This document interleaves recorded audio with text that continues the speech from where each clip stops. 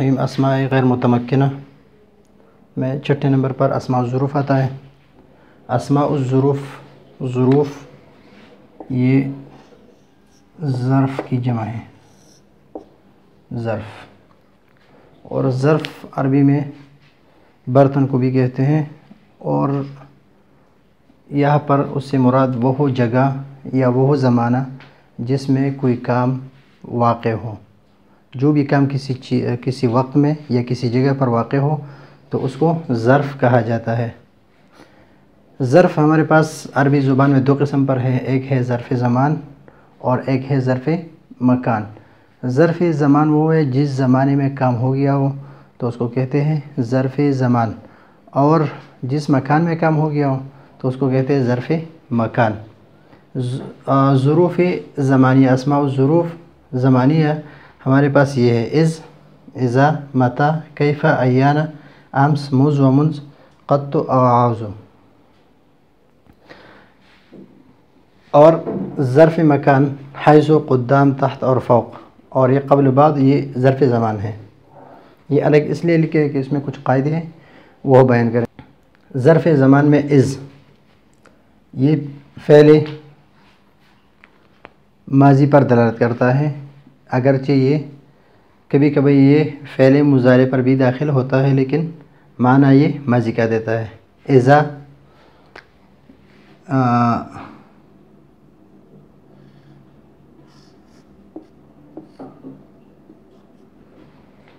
ये मुस्तबिल के माने, ये मुजारे पर दाखिल होता है और माना भी मुस्तबिल का ही देता है। मथा, ये शर्त के लिए भी आता है और इस्तेफ़ाम के लिए भी,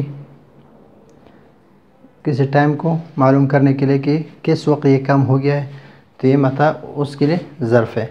कैफ़ा, इससे हाल मालूम करने के लिए इसको हम ज़िक्र करते हैं। कैफ़ा हालुक? अयाना मुरसाहा, कुरान करीम में आयत में आया अयाना ये भी वक्त मालूम करने के लिए कि कौन से वक्त में ये होगा? अयान मुरसाहा। अम्स कल।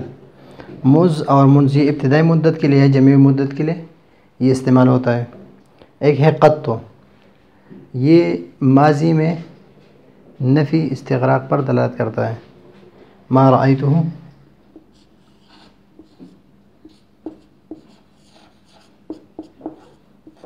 कत्तो।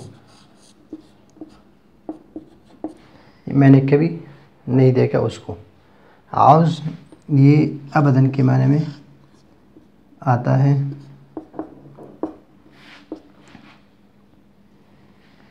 कि मैं बात नहीं करूँगा उससे आउज़ अब कभी। हमेशा के लिए। कबल है और बाद है। कबल और बाद ये भी ज़रूफ़ है, लेकिन इसके मुजाफिल अगर मज़कूर हो। मौरब और मबनी में उसके, कि ये मौरब है या मबनी है। तो उसमें तीन हालत है। एक हालत ये है कि उसके मुजाफिल मज़कूर हो। अगर मुजाफिल मज़कूर हो। मुजाफ़न है कबल कुल शेन या इस तरह कोई और लफ्ज़ हो। या महजूफ़ हो। अगर मस्कूर हो मुजाफिल इसका। कबल हो कबल कुल शे, कबल ज़ारिक। मस्कूर हो तो ये मौरब है।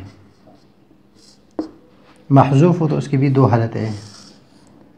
नंबर एक, नसीम मनसिया हो, बिल्कुल हो, महजूफ़ हो, लेकिन मुतकलम के जहन में भी ना हो तो उस हालत में भी ये मौरब है। नसीम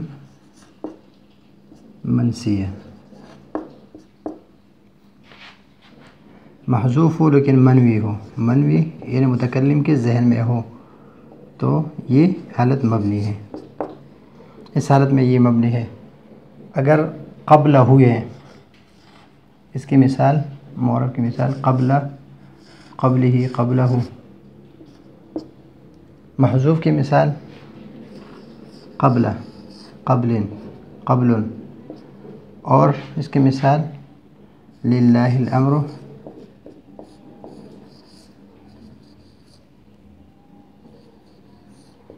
कबल व बाद